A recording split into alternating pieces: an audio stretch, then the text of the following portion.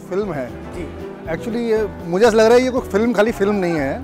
ये 21 करोड़ लोगों की आस्था है और एक बड़ी छठ माँ की अनजान कहानी है। जैसे कि 21 करोड़ लोग जो पूजा करते हैं उसमें बहुत ही कम लोग जो इस चीज़ को जानते हैं। तो सबसे पहले धन्यवाद करूँगा डायरेक्टर साहब का जो कहानी निकाल के लाए।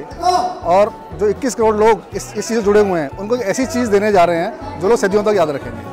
तो डायरेक्टर साहब का पूरी टीम का मैं धन्यवाद करता हूँ और आई एम फॉर्चुनेट कि मुझे इस माता रंग ने चुना इस मूवी को बनाने के लिए और एक ऐसी अच्छी टीम मिली जो फुल्ली डेडिकेटेड है, हर बंदा अपना काम कर रहा है और एफर्ट्स दिखाई दे रहे हैं सब। तो कॉन्ग्रेचुलेट टू ऑल ऑफ़